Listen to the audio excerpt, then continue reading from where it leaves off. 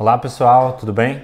Meu nome é Ricardo, eu atuo aqui com plataformas na Pagarme e vou começar uma trilha sobre Magento. Na verdade, a gente vai falar sobre várias plataformas é, de loja virtual e eu decidi, optei começar por Magento porque é a loja virtual que mais surge dúvida aqui na Pagarme. Essa primeira tal que eu vou abordar só a instalação, tá? Mas a ideia é que a gente fale sobre é, configuração de módulo de frete, configuração do módulo de pagamento da, do Pagarme e várias outras coisinhas bem legais que a gente tem no Magento, tudo bem? É, o que, que é o Magento, né? O Magento é um sistema de e-commerce open source, tá? Que ele foi baseado em PHP, MySQL e vários componentes de Zen Framework. Ele tem uma história bem bacana, ele foi criado pela Savarin e foi adquirido em 2011 pela eBay. E aí eles fizeram uma parceria aí durante alguns anos descontinuaram por alguns motivos, mas foi bem legal porque deu um background de negócios bem bacana para Magento, para Varen, né, no caso, tá? O Magento ele inclui é, várias funcionalidades dos grandes players de mercado do, de lojas virtuais e tem bastante coisa interessante para a gente falar. Por que, que, por que escolher Magento, né? O Magento ele tem várias ferramentas de SEO interessantes, parte de indexação, URL amigável, eu consigo administrar várias lojas virtuais num mesmo painel administrativo com domínios diferentes. Tá? Eu tenho uma variedade de plugins muito grande e eu tenho várias ferramentas legais para criar regras complexas de venda de produto, de promoção e desconto. Né? Pô, nas ferramentas de SEO, o que, que ele tem? Ele tem bastante coisa de URL amigável, é bastante interessante a forma como ele trata as URLs amigáveis, tá? o que vai facilitar a indexação por mecanismos de buscas. É, você consegue inserir várias meta tags em diversas partes do produto, o que facilita a construção da página do seu produto e indexação disso também por um, por um, é, por uma, um mecanismo de busca, né? E ele também gera um sitemap em XML automático para você que também pode ser utilizado pelo Google, por exemplo, tá? E tudo isso vai auxiliar a você ranquear os, a sua loja virtual em, em vários sites de busca. E além disso, ele possui uma facilidade muito grande de integrar com o Google Analytics, já agrupando as páginas necessárias, sem você ficar quebrando a cabeça de como você vai agrupar essas páginas na hora de analisar os seus dados. É, várias lojas em um mesmo painel administrativo, né? O, o que, que ele fornece aqui? Eu consigo ter várias lojas administradas por um mesmo painel e decidir aonde que esse produto vai, ser, vai ficar disponibilizado. Eu consigo analisar vendas de cada loja e essas lojas elas podem é, estar com templates diferentes, domínios diferentes e ser administrada pelo, pelo, pelo mesmo painel. Isso é um recurso bastante interessante quando você tem franquia, você tem, sei lá, você, você possui mais de uma loja de negócios diferentes, é bem interessante. Tá? Variedade de plugins. Quando o Magento ele foi construído, ele foi muito construído pensando no desenvolvedor. Então a arquitetura dele é, é bem plug and play. Você consegue escrever alguns módulos e sobrescrever algumas classes é, via XML e tal. E é bem interessante a forma como você instala esses plugins. É, por isso que a galera é, passou a desenvolver muito plugin open source e disponibilizar na comunidade. E aí ele tem uma, você consegue estender muito as funcionalidades padrão do Magento, tá? Isso é bem legal. E além disso ele tem o Magento Connect, que nada mais é do que um site que centraliza todos os é, vários plugins diferentes, tanto pago quanto free, onde você pode acessar e escolher seu plugin. Ele tem umas ferramentas para você fazer a instalação desses plugins também. Ou seja, não é necessário você utilizar FTP para você instalar esses plugins, e isso é bastante interessante. Essa aqui é a página do Magento Connect, né? Então aqui a gente já tem alguns plugins para WordPress, para One Step Checkout, que são bem legais, tá? Aqui eu escolho o plugin, compro através é, desse site, eu consigo buscar é, ferramentas de marketing, é bem interessante dar uma olhada, tá? Esse aqui é o Magento Connect Manager, que nada mais é do que a instalação de um plugin através do, do da dash do, do, Magento. Isso aqui é só um exemplo para vocês verem como é fácil. O usuário ele basicamente cola a URL do plugin aqui, clica em instalar, ele já vai fazer o download disso, já, já vai instalar para você. Então é bem fácil, é bem tranquilo. Tá? Aqui a gente tem algumas lojas que utilizam o Magento. A gente tem aqui o, Burger King tira um número enorme de pedidos através do Magento. É bem interessante, vocês têm essa informação direta no site do Magento. A gente tem a Coca-Cola e diversos outros, diversas outras lojas bem grandes, bem interessantes, cases bem legais para se analisar. Né? E quais dificuldades que podem ser encontradas? Devido à quantidade de recursos que o Magento tem e a complexidade que, que é para se desenvolver, o fato deles terem deixado essa arquitetura bem aberta e trabalhar bastante com arquivo XML para sobrescrever classe, arquivo XML para trabalhar com layout, se torna um pouquinho complexo, tanto para operar quanto para criar módulos para esse cara. Então não basta você só conhecer de PHP, você acaba é, precisando se aprofundar um pouquinho na plataforma e para você entender um pouquinho como funciona e, e, passar a desenvolver os seus plugins. Mas depois disso também é bem legal, você começa a brincar bastante e o Magento se torna uma plataforma bem legal de trabalhar. Tá?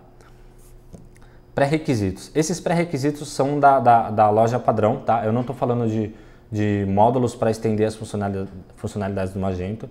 Então, essas, esses são os pré-requisitos que são fornecidos pelo próprio site do Magento na página de download. É, então, sistema operacional Linux, tá? é, servidor Apache ou Nginx, banco de dados MySQL e PHP 5.4, 5.5 ou 5.6. Isso da versão 1.9, tá? Eu não estou falando da versão 2.0. A gente vai fazer o download da versão 1.9. Por quê? Porque é a última versão que o módulo do Pagar me suporta. É, mais para frente eu vou falar sobre o Magento 2 também, mas nessa tal que eu vou falar só sobre 1.9. Eu tenho algum, aqui alguns slides falando sobre isso, mas eu vou apresentar diretamente para vocês no site do Magento como é que a gente faz isso, tá? Basicamente, a gente acessa o site do Magento, magento.com, como vocês podem observar. A gente vem aqui no, no menu de Products and Solutions e Community Edition. Clicando aqui, a gente vai ser redirecionado para uma página onde fala sobre a versão comunitária. Tá? Eu também vou abordar esse tema, a diferença da Enterprise e da versão comunitária. Mas aqui a gente já tem um botão que, nos que nos, vai nos redirecionar para a página de download. Vindo para a página de download, a primeira listinha que ele dá vai ser com as versões 2. A gente não quer essa versão, a gente quer a versão 1.9, que é uma versão um pouquinho mais antiga. A gente vai vir aqui na lista de, de, de releases e vai descer essa listinha até achar a versão 1.9, né? Pô, deixa eu encontrar aqui a versão 1.9. Legal, tá aqui, certo? É, a gente vai pegar essa versão 1.9.3.1 e vai escolher o formato de arquivo. Eu vou baixar, o, vou pegar o arquivo .zip, que é o que a galera mais costuma utilizar é, quando entra em contato com o suporte. Geralmente, a galera que acaba entrando em contato com o suporte é uma galera que tem um pouquinho menos de conhecimento em programação.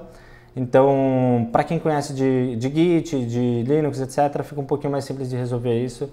Eu vou passar aqui da forma mais simples possível.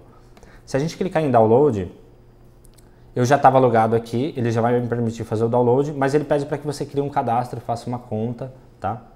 Cliquei em OK, ele vai baixar o arquivo, legal, tá? É, além disso, eu vou pular uma etapa que é a parte de criação de banco de dados, tá? É, eu suponho que, é, que você consiga fazer isso, que o, o host que você utiliza te, te forneça ferramentas para fazer isso. Eu não vou abordar isso porque é algo que varia muito de serviço de host. Eu vou falar só sobre a transferência desses arquivos via FTP. A gente não utiliza FTP aqui, mas eu vou, é, vou pegar o FTP, que é, a, a, o que a galera mais, acaba mais utilizando nas dúvidas que entram aqui para o suporte. É, então, eu vou mostrar aqui para vocês como que a gente vai transferir esses arquivos via FTP para o servidor e como que a gente vai começar essa instalação. Tá? Vindo aqui nos meus arquivos, certo? É, downloads, eu tenho as versões do Magento, eu já descompactei ele aqui, tá? Então, esses são os arquivos necessários para a execução da plataforma, tá? É eles que a gente vai mandar para a raiz do, do nosso host. Eu vou ver aqui no nosso FileZilla, certo? O meu domínio é minhaloja.com.br, o meu nome do usuário também é minha loja, loja.com.br, eu vou colocar minha senha aqui, certo? Conectei, eu já transferi meus arquivos para cá, mas o que você faria basicamente é acessar o seu diretório, certo? Encontrar os arquivos do Magento, selecionar todos eles e mover. Eu não vou fazer essa etapa aqui porque demora um pouco, tá? Eu não, mas é bem simples, você só vai mover os arquivos aqui, ele vai copiar. Assim que ele terminar de copiar, a gente vai acessar o domínio da nossa loja. Minha loja com BR Pô, legal. Ele já deu aqui pra gente a tela de instalação do Magento. Tá? Ele tem os termos de licença aqui. É bastante interessante vocês lerem esse termo, tá? Depois de lido, a gente vai clicar em aceitar e continuar. Nessa etapa, é, a gente vai fazer as configurações de idioma, é, time zone e moeda. Tá? Eu não vou trocar a linguagem aqui agora, porque a gente ainda não tem os arquivos de tradução dessa versão. Futuramente eu vou falar, eu vou fazer um vídeo só falando sobre como instalar essa tradução. A única coisa que eu vou alterar aqui vai ser o time zone. Eu vou encontrar, eu vou colocar o time zone de São Paulo e vou colocar a moeda real, tá? Brazilian real. Show? Nessa etapa aqui, depois que eu configurei o time zone, configurei a linguagem e a moeda, ele pede algumas configurações de banco de dados. Como vocês podem ver, ele não me permite aqui selecionar outro SGBD, outro banco de dados, né? Trabalha só com MySQL. Ele pede o host, o host é, é o endereço do seu banco de dados, provavelmente o seu serviço de hospedagem vai fornecer isso para você, tá? No meu caso, chama MySQL. O nome do meu banco de dados é Magento, certo? O nome de usuário do meu banco é root e, no... e a senha desse usuário é root também. Tá? Aqui ele me pede o prefixo da tabela.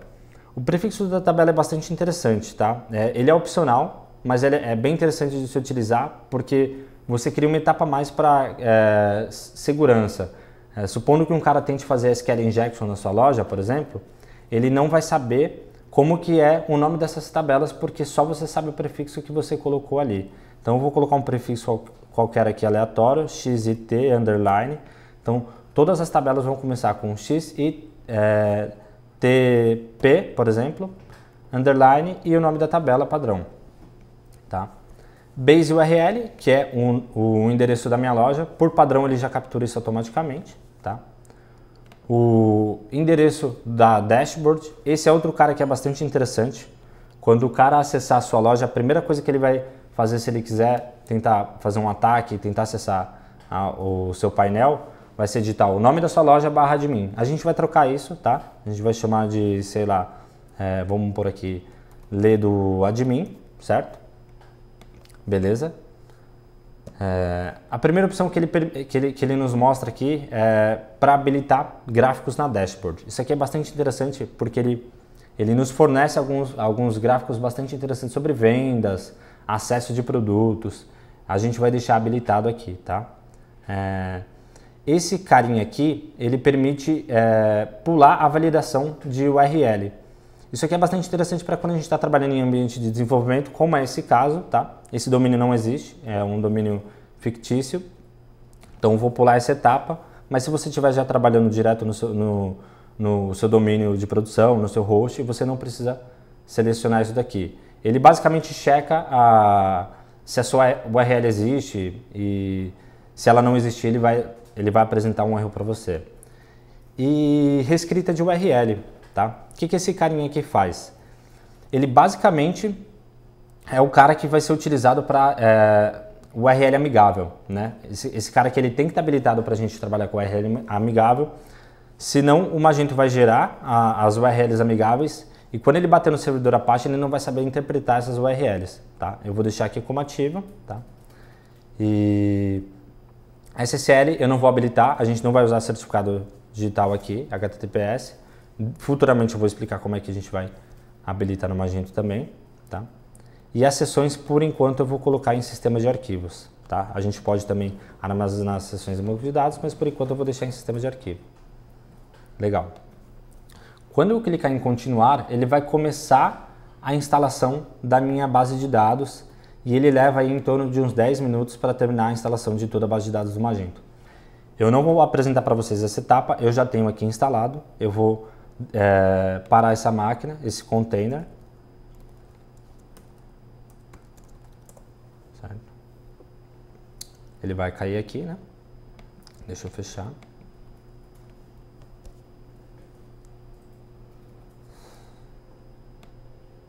Legal, certo?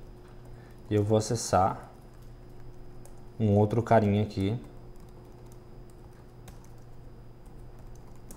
que já está já tem a base de dados instalada.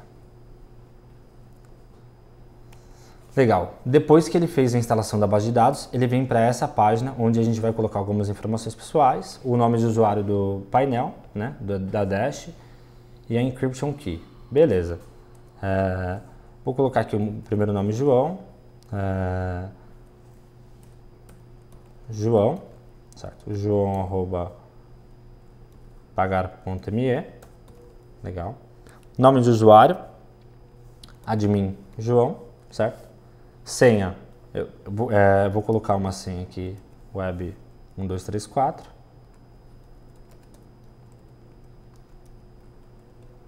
Legal. E a encryption key, né? O que esse cara aqui faz? Esse cara aqui vai ser utilizado para encriptar os dados sensíveis da sua loja. Então, por exemplo, dados de cartão, é, informações sensíveis de usuário. Eles, o Magento utiliza essa encryption key para poder encriptar esses dados. Se a gente não fornecer essa encryption key, ele mesmo já cria uma para a gente e vai ser apresentada na próxima etapa. Legal?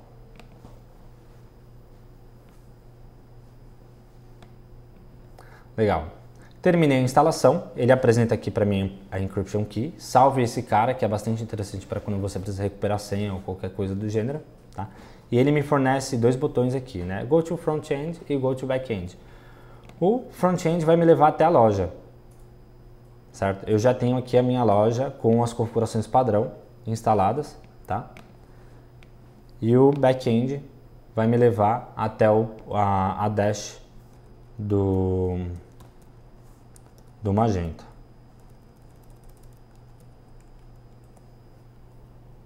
Opa. Admin João.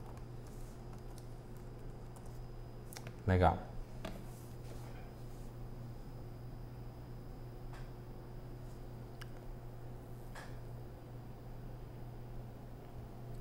Bacana, legal.